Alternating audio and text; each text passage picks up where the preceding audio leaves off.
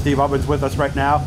Probably don't see him much because if you watch the live broadcast on Live Land of Legends Raceway TV, you hear his voice. I'm really the only guy you see outside of all that. He's the one doing the race calls. He begins his sixth season here at Land of Legends Raceway. Practice and it's spinning out there right now, so we're hoping that that's going to stop. How you been, man? I haven't seen you since last year. Yeah, no, uh, good. Had a nice winter with my son Cole and my wife Keegan. We got to do a lot of fun stuff with him, and uh, but I'm ready to go racing.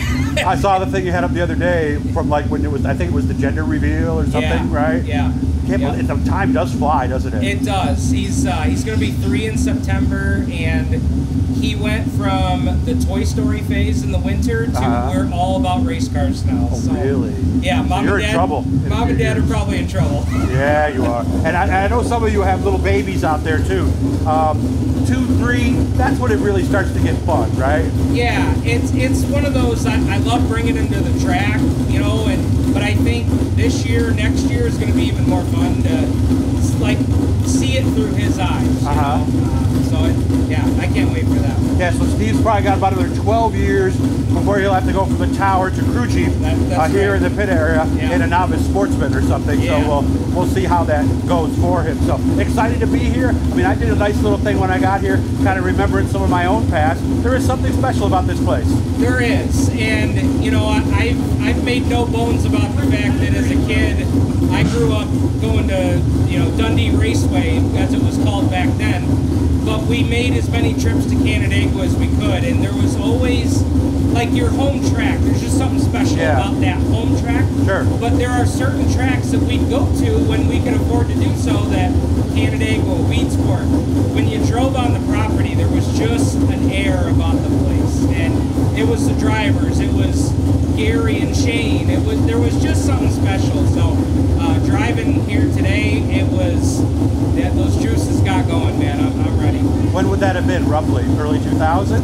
Uh, so for me, it would have been mid '90s. I Mid mean, 90s. In, So you in just missed me here then. Okay. Yeah. yeah. You just missed me. I think I was here till 98 or 99 or something. So what keeps you coming back? Because what you do is not easy. No. You got to think on your feet. With TV, you got to be paying attention to a lot of things. What keeps you coming here?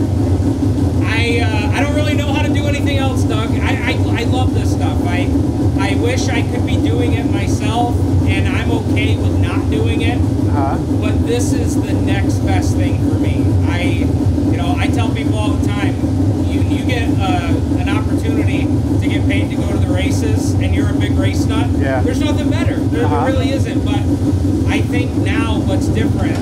I mean, this is I started in 2015 at, at Black Rock was my first announcing gig.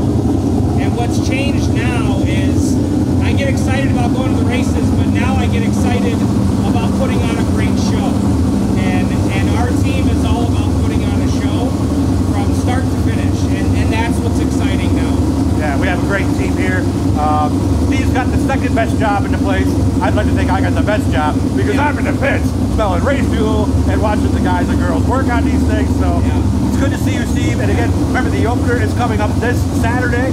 Um, there's supposed to be a couple practices this week at some other tracks. We'll see how that goes. But it's that time, guys. Time to support your favorite racetrack. Steve, thank you for everything. And yeah, Like the video and subscribe. that's right. Turn on the notifications too. So make sure to do that. Always good to see you, Steve. You have fun you. tonight.